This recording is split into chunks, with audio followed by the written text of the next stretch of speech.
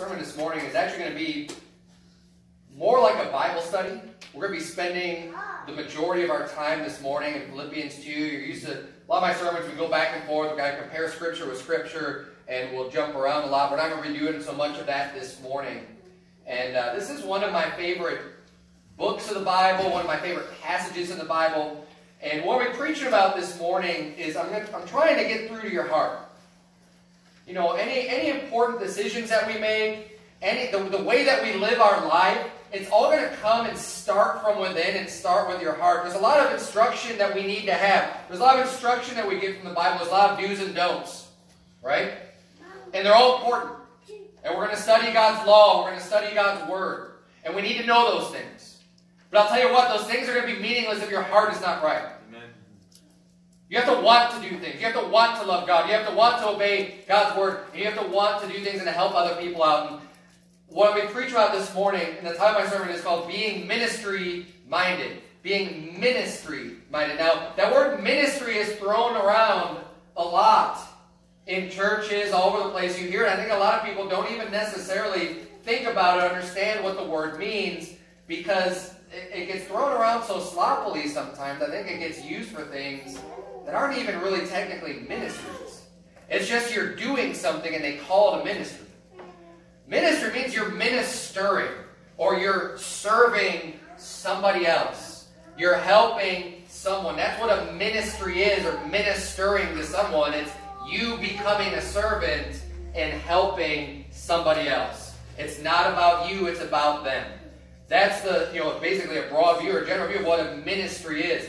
And what we see here in Philippians, look at verse number 1. The Bible says in chapter 2 here, If there be therefore any consolation in Christ, if any comfort of love, if any fellowship of the Spirit, if any bowels and mercies, fulfill ye my joy, that ye be like minded, having the same love, being of one accord of one mind. So chapter 2 is, is starting off here. And he's saying, look, aren't these good things that there's any consolation in Christ, being consoled, being comforted, any comfort of love, any fellowship of the Spirit? He's saying, fulfill ye my joy. It's his joy for the Philippians, for other people to experience that same type of fellowship, the same type of love, the same bowels and mercies and the consolation in Christ. He's saying, fulfill you in my joy, that ye be like-minded, that you have the same type of mind, that you have the same attitude, that your heart is right, that you have the same love, being of one accord, of one mind. He said, would to God we could all have this type of an attitude. We can all be joined together with this type of a love, with this type of an affection. Look at verse number three. Let nothing be done through strife or vain glory. What's strife? Strife is fighting. He said, no, you're not supposed to be serving God and, and having ministries where you're just fighting or vain glory. What's that? It's all about me. Right? And that's one of the things that the church of Corinth had a problem of. They were, they were striving within the church, and they were saying, well, I'm of Apollos, right? Well, I'm of Cephas, I'm of Christ, I'm of Paul. And they had these leaders that they were that they were lifting up, which, hey, they're great leaders, great men of God, right? Amen. Can, we could see how much good that they did, and they're great teachers. But what they were doing is they were kind of turning that into a strife or contention of saying, well, I follow this guy, and I follow that guy. And it was vainglory instead of just recognizing they're all serving Christ. You know, we all should be serving Christ. That's the thing. We should be coming together with one accord, with one mind, having the same love. And you know, look at what those men were all about. They weren't about lifting themselves up. They weren't trying to get some great following after themselves. They were trying to point people to Christ. Amen. That's what it's all about. That's why they were ministering so much. Is because they're trying to reach people to Christ. So he's saying here, let nothing be done through strife or vainglory. It's not about us. It's not about fighting. Uh, there's a time to fight, but when it comes to this ministry, that's not what he's referring to. You know, we need to fight and defend the faith that was once delivered unto us, the Bible says. But when it comes to serving others and having this attitude that we're preaching about this morning, we're seeing in Philippians 2, this isn't about fighting. It's not about vainglory. It says, But in lowliness of mind, let each esteem other better than themselves. This one phrase, this one verse, can go a very long way to solving a lot of problems that people have in their day to day life, that churches have within the church, that people, that, that marriages have within a marriage. So many problems come from our own pride and, and lifting ourselves up and not showing a lowliness of mind and esteeming other better than themselves. What does that mean? When you esteem someone better than yourself, it means that you're valuing them higher than yourself. Just like uh, John the Baptist, you know, with Jesus Christ, he said, He must increase, but I must decrease. It was all about helping him and serving. What was Jesus Christ about? It was all about serving others. Yep. He wasn't, he didn't come to this earth to lift himself up and to sit on the throne. Now, he will be sitting on the throne when he comes back the second time. He's going to come and to rule and to reign. But when he came the first time, he came as our example. He came to serve. He came to minister, not to be ministered unto, the Bible says. He came to serve others. He healed the sick. He, you know, spent all night in prayer. He'd get up in the morning real early. He'd go out, heal people, preach the gospel, teach God's word. It was always about helping other people. Because when you're bringing the gospel, what are you doing? You're helping them out. You're, you're bringing other people to Christ so that they can avoid a da- an eternal damnation in hell. So they can be saved and go to heaven when they die. There was nothing in it for Jesus. He wasn't charging people money to heal them. That would have been wicked. He was serving other people. He was going in the name of God to serve others. That was what Jesus Christ was all about. And in lowliness of mind. And think of, you know, how hard is it going to be for you to have a lowliness of mind to see other people better? You know, do you really think you're that great? Look at Jesus. Are you better than Jesus? Of course not. If he was able to esteem other people better than himself, which is evident through his actions of going out and serving other people, then how can you not? And see, this is important. Those of you, I know we have visitors this morning, but I'm not going to be, I'm going to be moving in about a month and starting a new church in another area. But whether I'm here, no matter who's here behind this pulpit, you all need to have a ministry mindset in your life, regardless of who is leading you. This is something that's important for everybody to have. This is what the Christian life is all about. It's about service. It's about ministry. You say, yeah, but I don't want to pastor a church. It's not just about being a pastor. Look at who is the, the, the this epistle to. It's from the Apostle Paul. I mean, it's literally from God as the author, but this is from the Apostle Paul to the Philippians, to the church at Philippi, to the people who are congregated together, and these are the instructions that he's giving them. That they need to have this mindset that ministry is not just about you getting a certain position within a church. It's about who you are and what you do, and how you esteem other people, and how that motivates you and drives your life. There are ministries that you can be a part of that aren't even necessarily have anything to do with being established within the church. We think of ministries, oh, there's a ministry leader for this. And look, I'm not opposed to using those terminologies. That's fine. But what I'm trying to get across this morning is that you can receive from God's Word what's trying to be expressed here, that you can be like-minded, that you can experience the consolation of Christ, the comfort of love, and have fellowship in the Spirit, and fulfill joy by being like-minded, having the same love, and being able to esteem others better than yourself and having a lowliness of mind, staying humble, not getting lifted up with pride, not getting so caught up and wrapped up in yourself that you don't care about anyone else. There are lots of ministries that you can do when you serve people. We're going to get into this later, but the number one thing is just reaching out and giving people the gospel of Jesus Christ. That's something that everybody should be doing. Everybody should be participating in that ministry. There's plenty of other things that you can do too, where if you if you get this mindset, if you can be constantly reminding yourselves that I need to stay humble. I need to esteem other people better than myself. You're going to be thinking about how can I help that person? I can put off maybe something that I want to do. I, I can put that on the back burner because someone else needs help and I'm going to help them. That's the mindset that's being expressed here in Philippians chapter 2. Look at verse number 4. Look not every man on his own things, but every man also on the things of others. Do you spend your time just completely focused and, and caring only about yourself? Now, is it important to do things, to take care of things at home and take care of things for yourself? Absolutely it is. We shouldn't have to be dependent on other people. We should be able to be self-sufficient and provide for ourselves. There are things that need to be taken care of. Men that need to go to work, provide for the family, bring home food. You know, things that need to be. My wife has a job to do at home. She needs to raise our kids. But you know what? That shouldn't just be what our life is all about. Just about ourselves doing things for us and ourselves getting by. We need to be thinking about other things. It says, but every man also on the things of others. Not only am I going to take care of myself but how else can I help other people out? It's easy to get so wrapped up in all of our concerns and all of our cares and everything we have going on. It's easy for me to do that. It's easy for me to say, well, I got this move coming up, and I got this to do, and I got that to do, and I got to find a job, I got to do all this work. It's easy then to put aside, well, I'm not going to go soul winning today. Well, I'm not going to I'm not going to do this. I'm not going to help this person out because I've got too much other stuff to do. and you can fill in the blank for your for your life. But this is something that we deal with on a regular basis.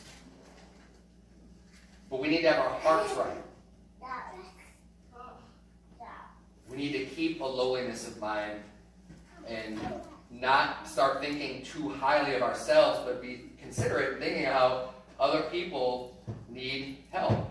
Look at verse number 5. Let this mind be in you. What mind? The mind that we were just saying. Look not every man on his own things, but every man else on the things of others. Esteeming other people by yourself. Let this mind be in you, which was also in Christ Jesus. This is the mindset that Jesus Christ had. Verse number 6 Who being in the form of God, thought it not robbery to be equal with God, but made himself of no reputation, and took upon him the form of a servant, and was made in the likeness of men. Of course, Jesus Christ thought it not robbery to be equal with God because he was equal with God. Because he was God incarnate. And if God incarnate takes on the form of a servant, why can't you? Amen. Verse number 8, and being found in fashion as a man, he humbled himself and became obedient unto death, even the death of the cross. His obedience in service to God was unto death. Even when it came down to losing your own life, to losing his own life, he still stayed the course and maintained faithful, faithfulness. Now, a lot of people they have a different line that they're going to draw. Well, I'll serve God, but only up to this point. Well, only if it means this. I'll serve God, but if but if but if I'm going to go to jail for it, forget about it. Right? And everybody's got a different line that they're going to draw. Well, you know where Jesus Christ's line was? There wasn't a line. He was going to serve God no matter what the consequences were. Unto death. What, what else is there? unto death, even the death of the cross, even a torturous, excruciatingly painful death of hanging up on the cross, a shameful death. Whatever they're going to throw at him, I'm still going to serve God. I'm still going to do what's right. That was Jesus Christ's mindset, and that ought to be our mindset too.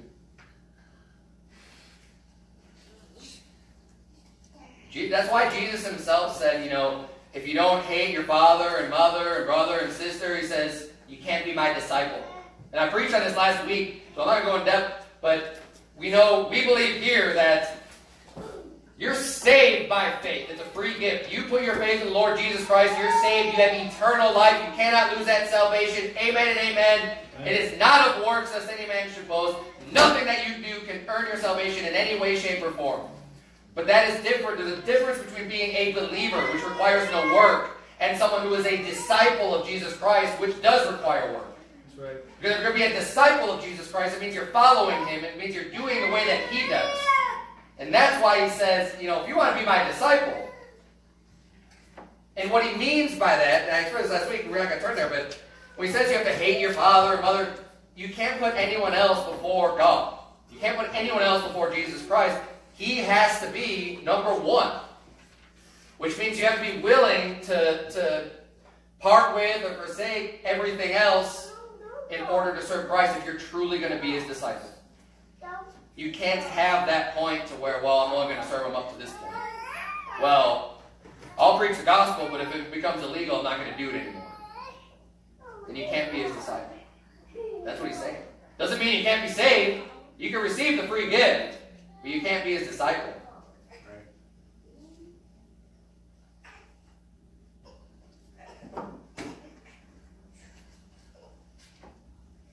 Obedience unto death, even the death of the cross. Look at verse number 9.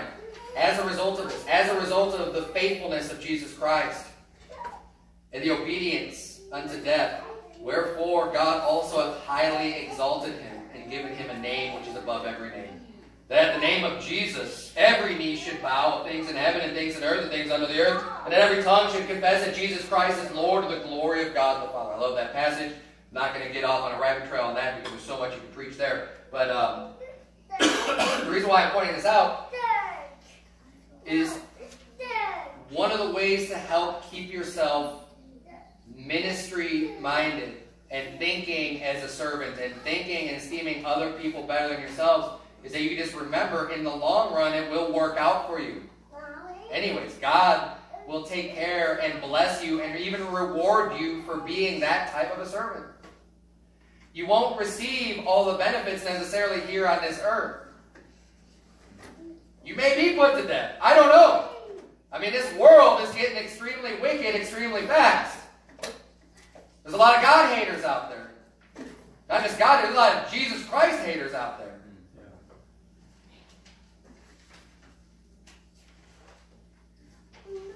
But when you can remain obedient, you know, you can humble or abase yourself and let yourself be low. God will lift you up.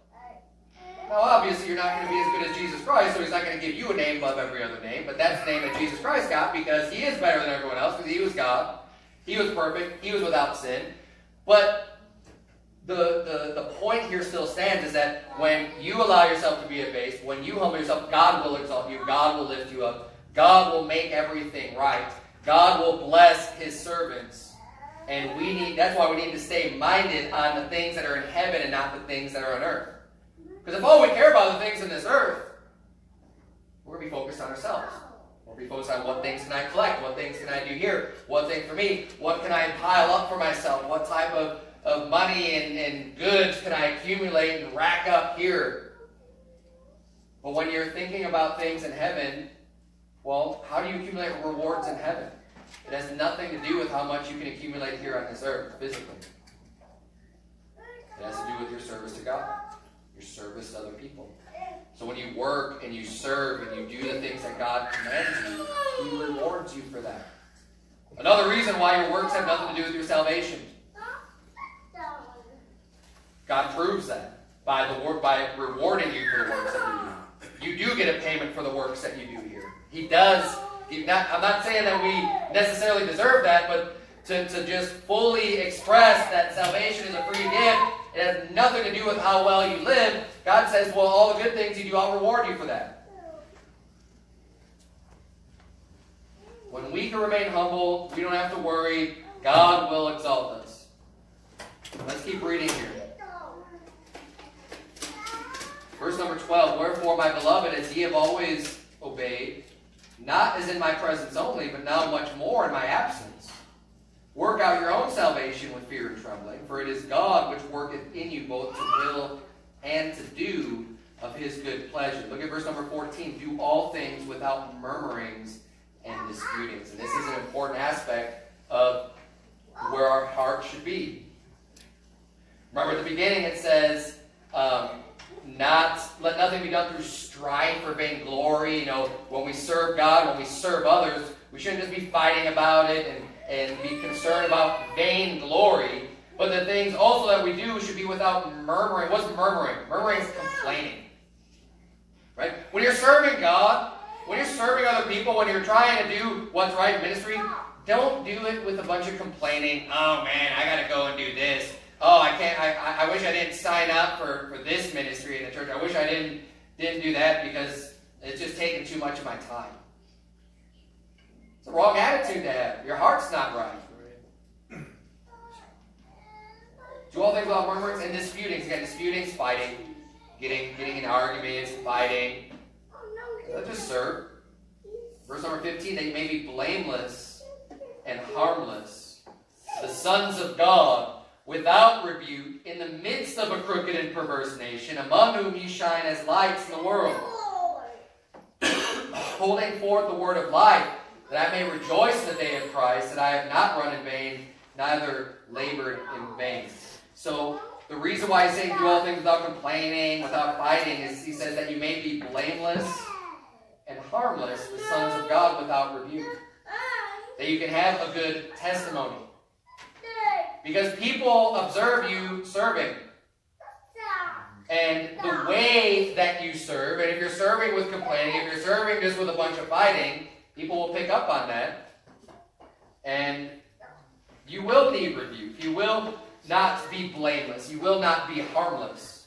You're going to actually bring damage to the cause of Christ when you're not doing serving with the right attitude. Let's keep reading. Jump down to verse number 19. But I trust in the Lord Jesus to send Timotheus shortly unto you, that I also may be of good comfort when I know your state. See, the Apostle Paul, and you can read this through all of his epistles, he genuinely cared for the people he was writing to. Notice in how many places does the Apostle Paul name people by names? Salute Antipas, salute this person, salute that person, salute, you know, Hey, help this person out, their fellow laborer in the gospel. And, and he goes, you can read at the end of Romans, especially the last chapter of Romans, it's all just a bunch of names of people that Paul is praying for, that he's thinking about, that he's concerned about. Yet he's met people in all these places where he's helped to start churches. He knows people in Philippi, in Colossae, in Thessalonica, in Rome, all over the world. But he genuinely cares about these people. And you can see that even in the book of Acts, where, where him and Barnabas like, hey, let's go check up with all these people that, you know, they care about them. They labored night and day, traveling and working with their hands and supporting themselves so that no one else would have to do anything for them. They worked, they provided for themselves, and they were willing to impart even their own souls unto the people that they were serving. That's having the right attitude, the right spirit, the right heart. And that's what's going to allow you to get the most done for the Lord. When you're not only doing, but your heart is right.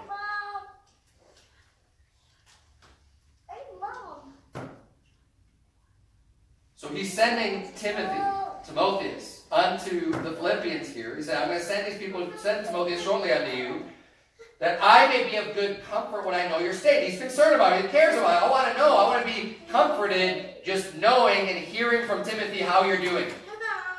Look at verse number 20. For I have no man like-minded.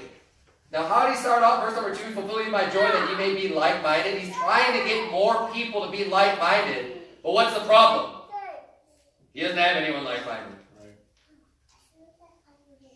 What was the problem that Jesus said? You know, the fields are white on the harvest. Laborers are few. Pray therefore that God will send laborers into the harvest. There's nothing complicated about living the Christian life. People always try to make things really complicated and really hard and difficult. It's not. The only way it's hard is because you make it hard because you don't do what God's saying to do, because your heart's not right. That's it. That's the reason for the difficulty. It's not complicated. It's very easy. It's, it's very simply spelled out. It's not all about you. You're here to be a servant for the Lord and to serve other people. Pretty simple. I have no like minded who will naturally care for your state. What a shame. What a shame for a man of such great influence, who himself is sold out to serving God and giving such a great example of believers of how to do. I mean, would to God that, that we could have people today that could live a life like the Apostle Paul did. And yet, even with that influence and with that example, and this is coming right off of Jesus Christ being on this earth, and, and that example, still, he's saying, I have no man like minded who will naturally care for your state. For all seek their own, not the things which are Jesus Christ's. This is an important topic. It was important then, it's important now. Do you seek just your own? Are you just con- concerned about yourself? Do you see the soul winning time and say, well, I got other things to do. I'm busy. Do you come across other people in your day to day life that you know are lost? They're not saved. And you say, ah, I got other things to do. I'm busy. You're part of the problem. Praise God if you're saved. But what are you doing? Are you serving? Are you helping? Are you serving the Lord? Are you like minded? Do you naturally care for other people? Does that come natural to you, or do you have to force it? If you have to force better start forcing it until it becomes natural.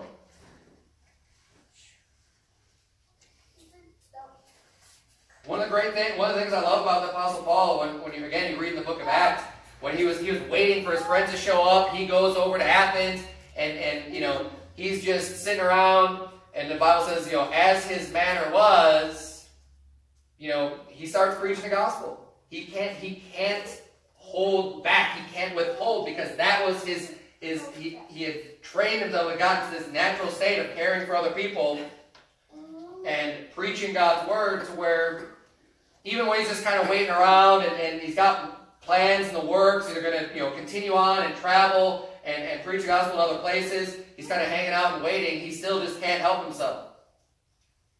That's the type of mindset we need to have. Even when you're vacationing, right? It's just kind of relaxing.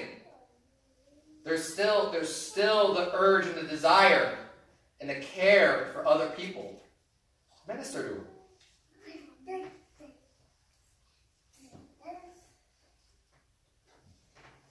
Jump down to verse number 25.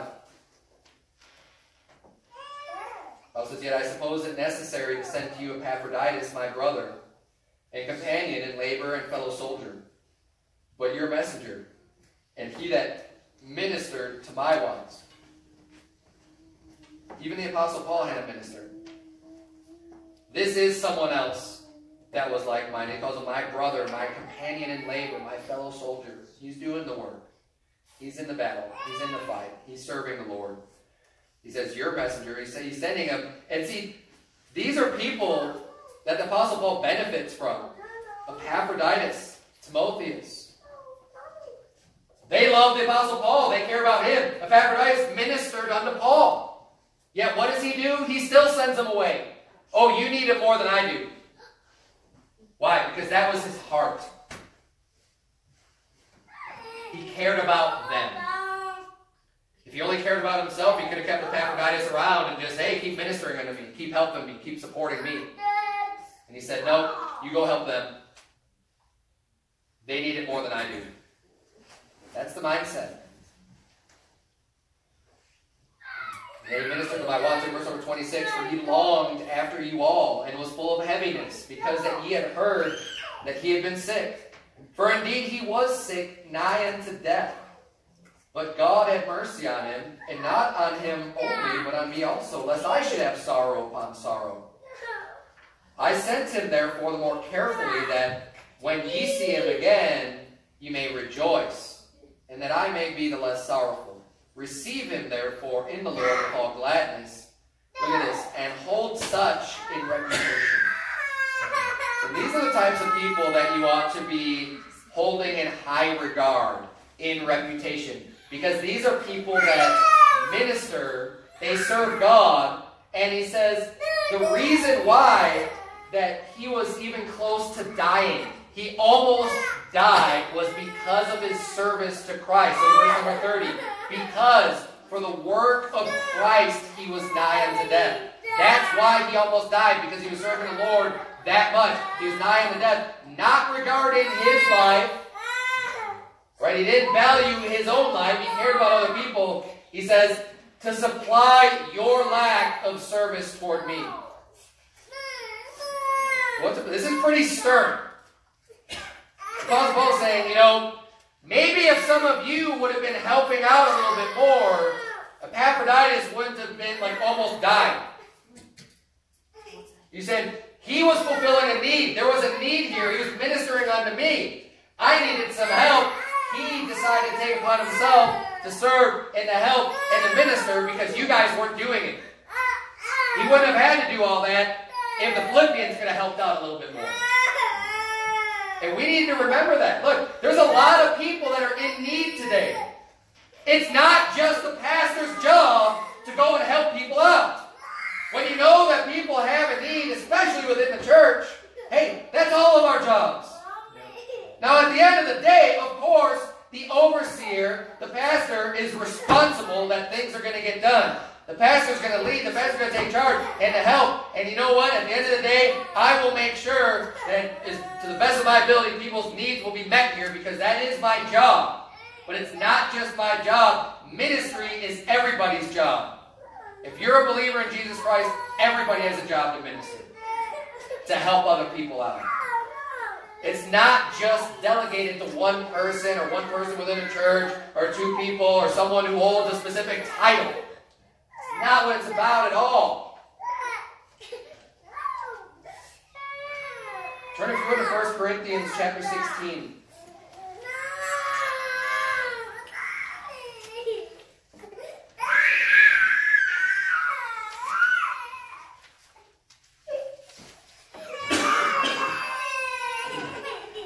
First Corinthians chapter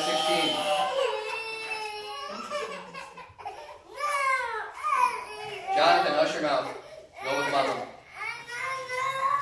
1 Corinthians chapter 16.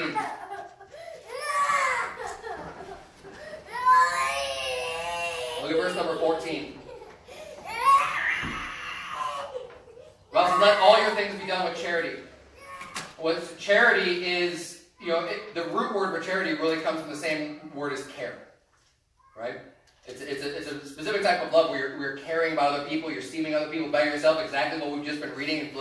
2 says, Let all your things be done with charity. That's the heart that you need to have. It's more than just following a set of instructions of do's and don'ts. Your heart needs to be right. You need to have charity. You can read 1 Corinthians chapter 13 and read a lot more about charity and how important it is.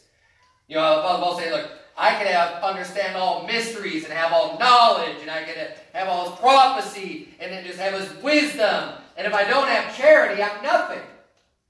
He said, I can have faith, and I can move mountains, and I can do all these great works, but if I don't have the charity, it's nothing.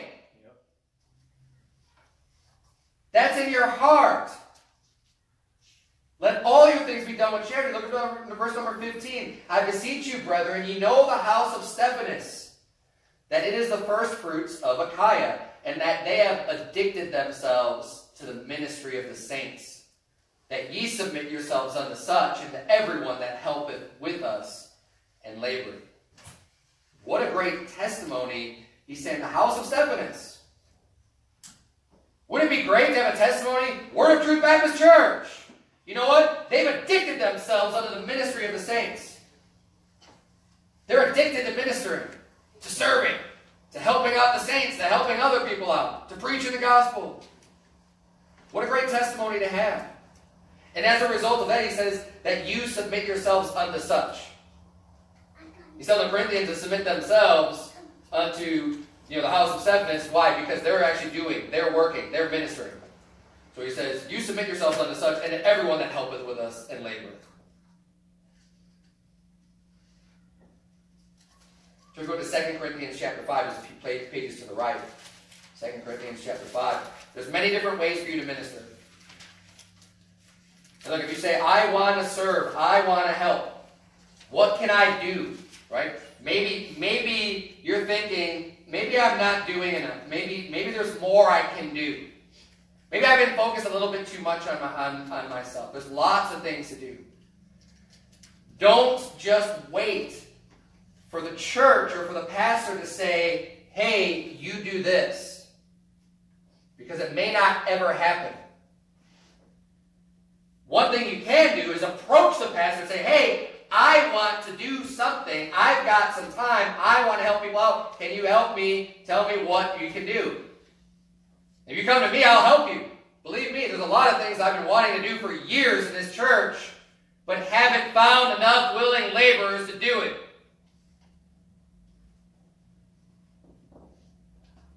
But there are plenty of things to do even without going to coming to someone like me. There are plenty of nursing homes in the area, in Prescott Valley and Prescott, all over the place, that are filled with widows. You know, the Bible says in James, it says, pure religion and undefiled is this, to visit the fatherless and widows in their affliction, and to keep yourself unspotted from the world. That's pure religion. That's good religion. That's the religion that God wants us to follow. There are people you can go visit. And I'll tell you what, as someone who's done a nursing home ministry, it is a blessing. Not only a blessing to the people that you reach, it's a blessing to yourself. There is joy and comfort and peace that you will receive when you go out and help other people in need. In many cases, don't even have any family or friends or anybody visiting them. You can go and spend a little bit of your time serving them, bring your Bible, you know, read with them, pray with them, help them.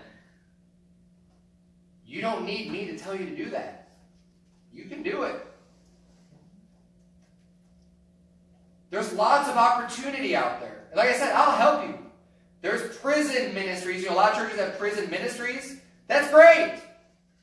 But you don't need to have a ministry established by the church to go and do that. Go ahead and do it. Come to me. I'll help you. I will help you with, with planning, organizing, supplies, whatever it is that you need. I will, I will serve you. If you have a heart to serve others. There are lots of ministries that we could be a part of and we can do. It's only limited by you and what you're willing to, to do and to even think of to help people out.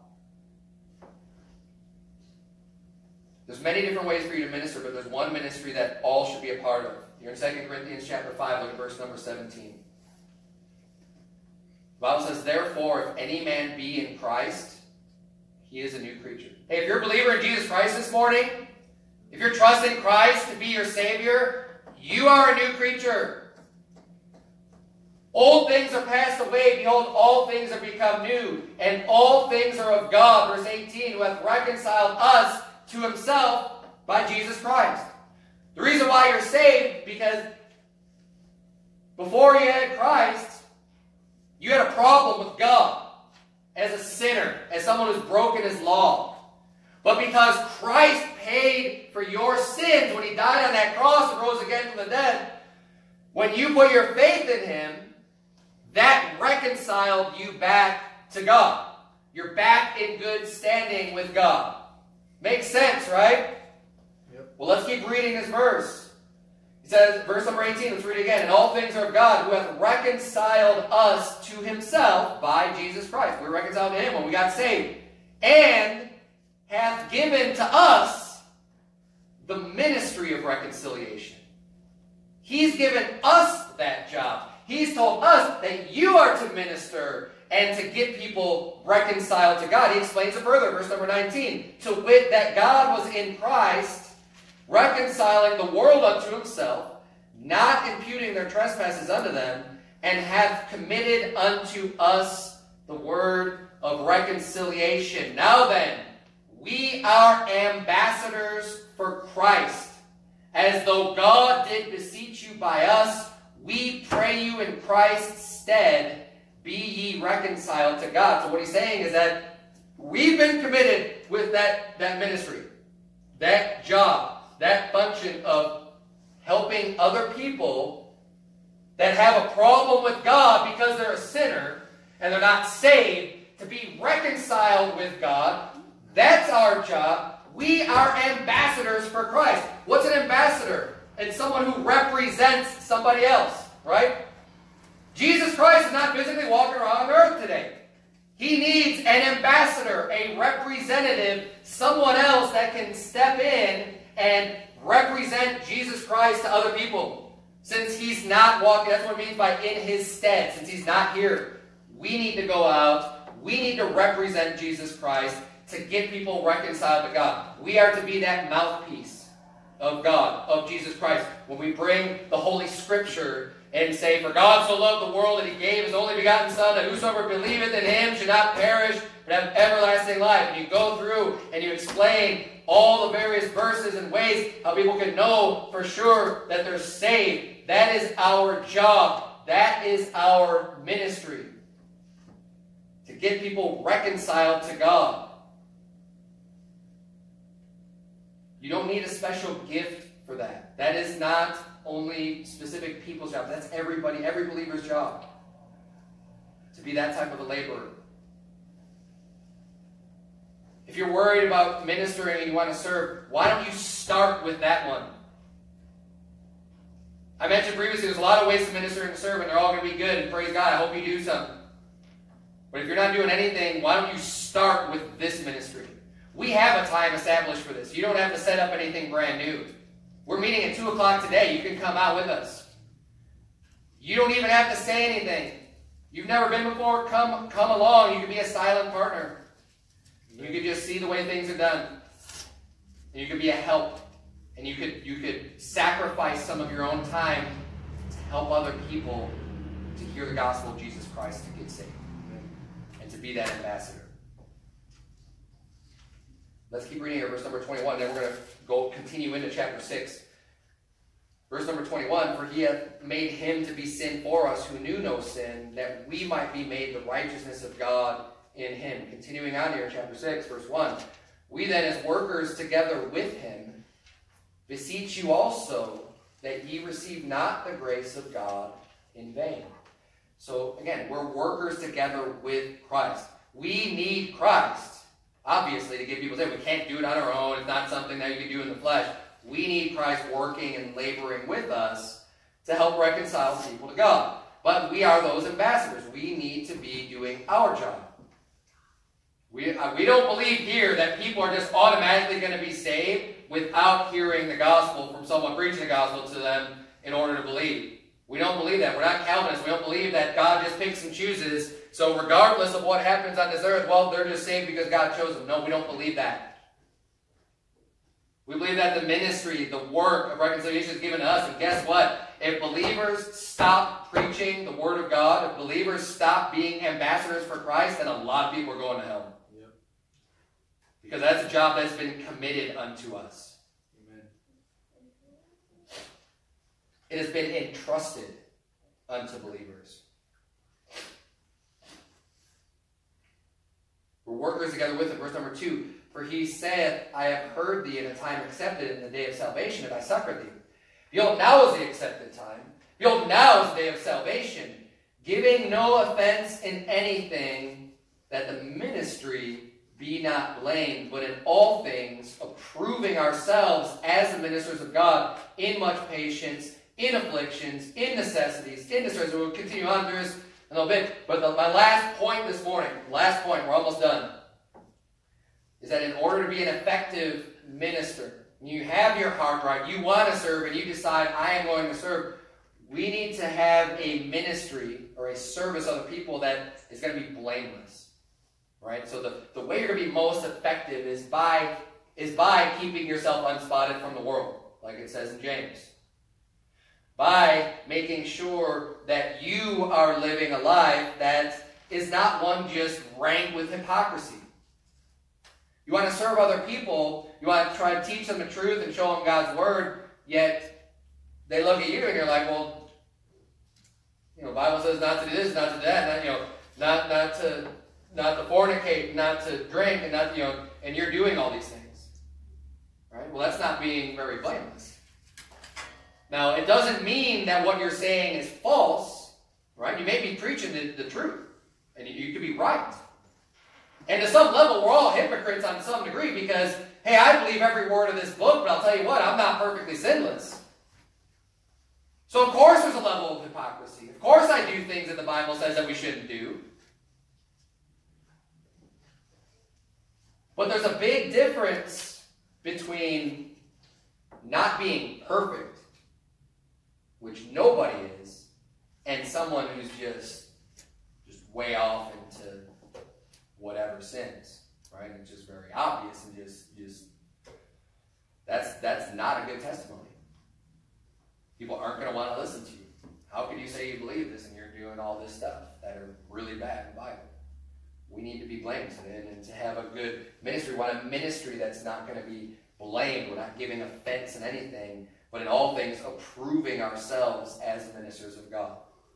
If you care about it, if you have the right heart, you're going to want to do the best job. You want to be used of God the best way that you can. So what are you going to try to do? Get rid of the, the things that are holding you back. Live a life above reproach, above rebuke and that will help you to have the most effective ministry. And then he continues on here, and then we'll read through. Um, this is a great passage. We're almost done. Uh, approving ourselves as ministers of God in much patience, in afflictions, in necessities, in distresses. So there's going to be a lot of things that are going to come your way. That's going to make it hard. Right? It makes it harder to do. It's, it's not. It's not always an easy job ministering to other people. There are afflictions. There, you need to have patience. You need to be able to see it through. You need to not just quit at any sign of resistance or opposition. You prove yourself when you have patience, when you can deal with the afflictions, when, when you're in need, you have necessities, when you're in distress, you have problems, in stripes, in imprisonments, in tumults, in labors, in watchings, in fastings. All, none of these things are comfortable, are they? You know, tell me ministry is not going to be a comfortable job. You're going to face opposition. There's going to be problems. Now, maybe you won't be beat and thrown in jail in the, the day and age that we live in right now in the country that we live in. Praise God for that. Thank God Amen. that we still have freedom to do some of these things and to minister and to preach the gospel. It's not always been that way, and there's many other places in the world right now where it's not that way but right here especially. When you think about these opposites, it's hard enough. Think about how hard it would be to, to minister when these are your threats beatings, imprisonments.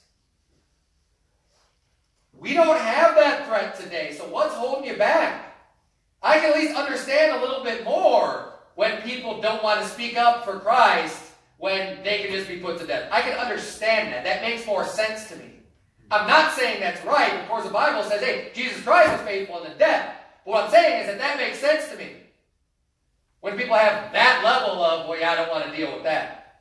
But we have so many snowflakes these days that people don't even want to say, oh, well, my cousin or someone else in my extended family might be offended if I say anything about Christ. Don't worry about that.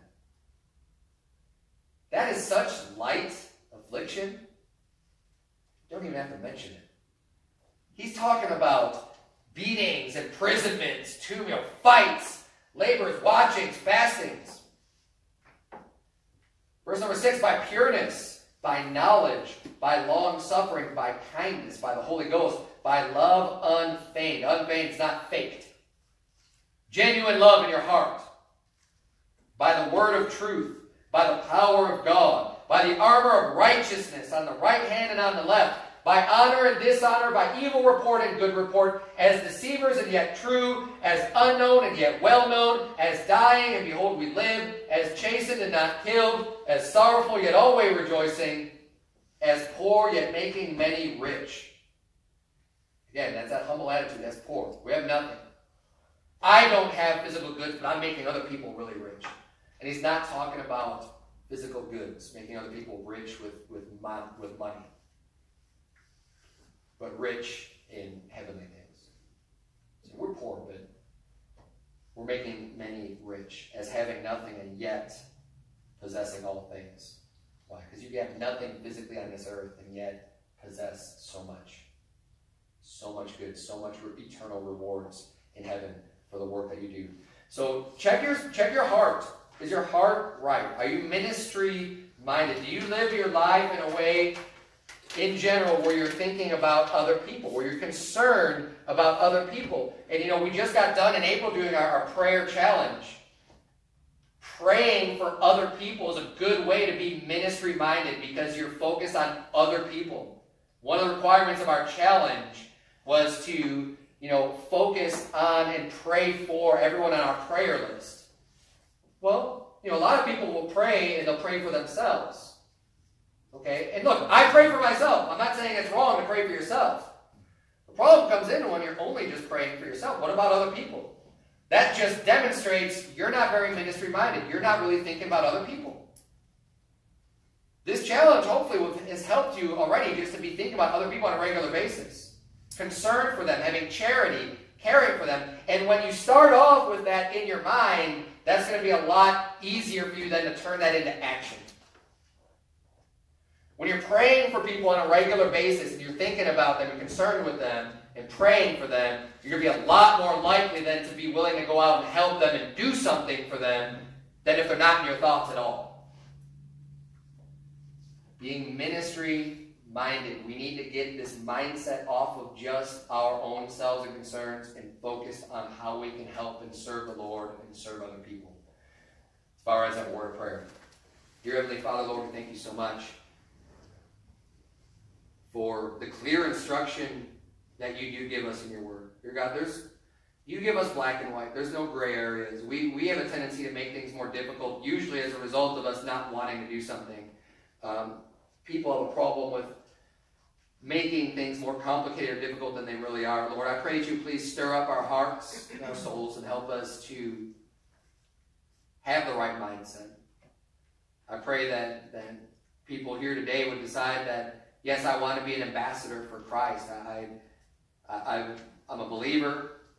You've saved my soul, and I want to help other people be reconciled to you as, as we've already been reconciled, Lord. And pray that you please just move our, our spirit and, and help us to, um, to, to gain that. Maybe, maybe, maybe there's people that don't, don't really have that desire and feel like maybe kind of cold. I pray that you please warm them and, and comfort them and strengthen them. I pray that you please help our church to, to be motivating unto one another, to provoke one another unto love and to good works, as your word says. Lord, help, help this church, help this church to serve and to grow and to just do more in our service to you. And in Jesus' name we pray. Amen.